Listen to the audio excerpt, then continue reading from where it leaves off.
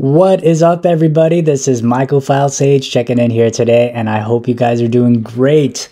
So, before we begin the video, guys, check out my Patreon if you would like to see some free fruiting content and some real fruits because I'm not posting them on YouTube anymore. And also, check out Sage's Intergalactic Nightclub.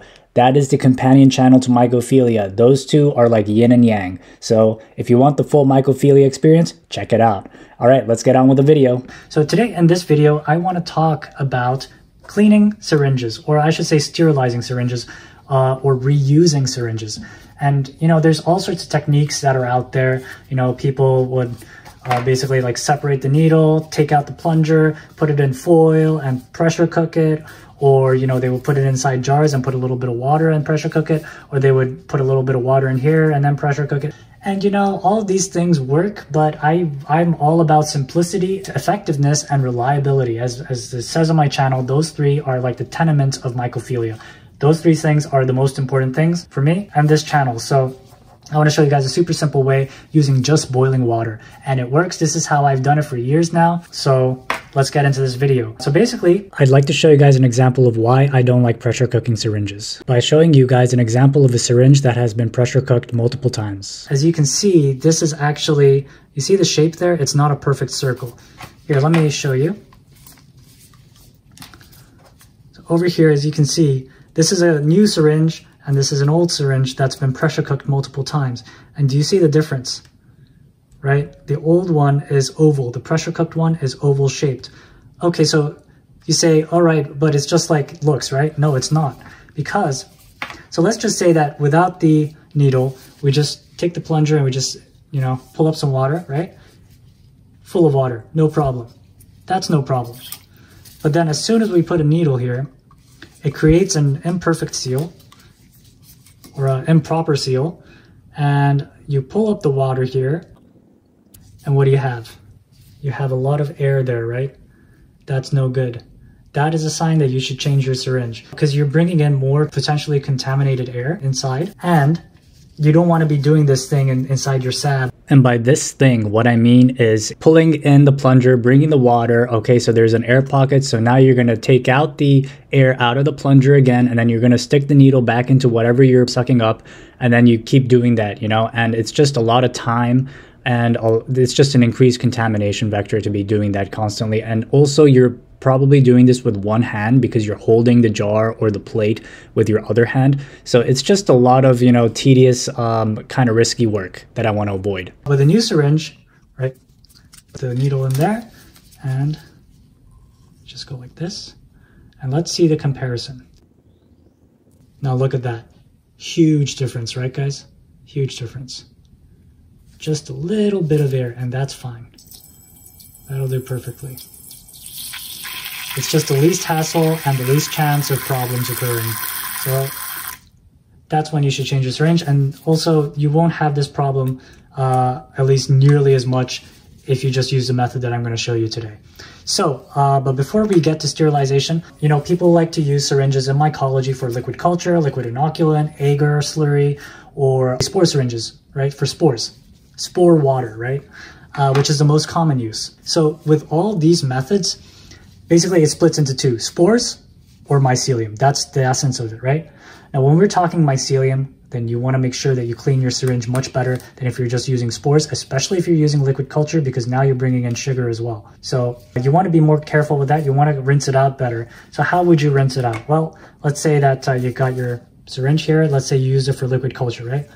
What you want to do is you just want to do multiple runs like this, just pulling in water, pulling out water, right? Multiple times, do that a couple of times, okay? And then after you're done, just pull out the plunger, see if there's any mycelium left on here, see if there's any dirt or whatever on here. You don't want it, hopefully you don't have any. And inside, just check, you know, usually a couple of that will take care of it, but if it's not, you could rinse it out with water again. Uh, I try to avoid putting anything inside here, but you'll probably be fine. But usually a couple, as I said, a couple of runs of this will take care of it. So yeah, that's basically it. You know, just common sense stuff and also the needles. You could reuse the needles quite a bit as well, but um, I don't because I got a big bag of needles, but I do reuse it maybe three times. So basically, that's how I prepare syringes that have been used for liquid cultures or liquid inoculant, etc., anything with live mycelium. So for spore syringes, though, I don't do any of that. I go straight to the sterilization technique, which I'll show you now. All right, guys, so we are in the kitchen, and as you can see, we have a pot of boiling water. This is how we want to do it. Just put some water in a pot and boil it. Simple stuff, right? So uh, at this point, you could let it boil for 10 minutes to ensure that there's no contaminants. If you have like dirty water or if your if your tap water is not very clean and you know it, then you might want to do it for 10 minutes. Usually for spore syringes at least, I just go directly already. But we're just gonna leave this for 10 minutes just to show you guys the safe way. And I will be back after 10 minutes have elapsed.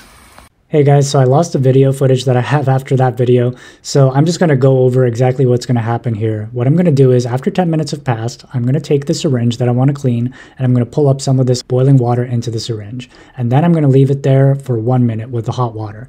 After a minute has passed, I'm going to spit it out into the sink or a cup, and then I'm going to repeat this process two to three times just to make sure. And also, if you want to clean the outside of the syringe as well, which I, I recommend that you do occasionally, then you just need to pop the syringe into the boiling water itself before you start pulling the hot water and clean the inside. So before you do the inside, basically stick your syringe, put, put the whole thing into the boiling water and let it boil for a couple of minutes to just sterilize the outside. And the reason that you don't have to pressure cook it, there's no pressure cooker involved, is because plastic doesn't harbor any bacterial endospores.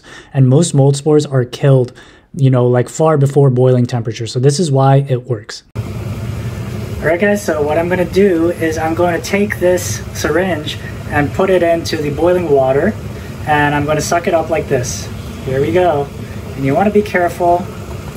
Uh, it's gonna take a couple of uh, times to do this to get everything inside, but you wanna do this with two hands for sure. As you can see, it's boiling in there. It's pretty cool, huh?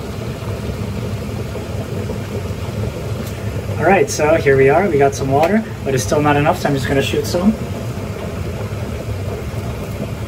And suck it up again.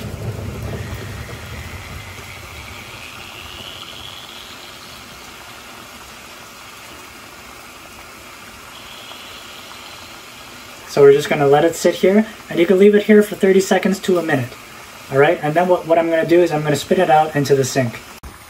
Alright guys, so a minute has passed. So you want to spit out your water into a cup or the sink or whatever. Just put out the water there. You don't want to put it back inside there because it's very clean in there. Alright, and now you want to do this one to two more times.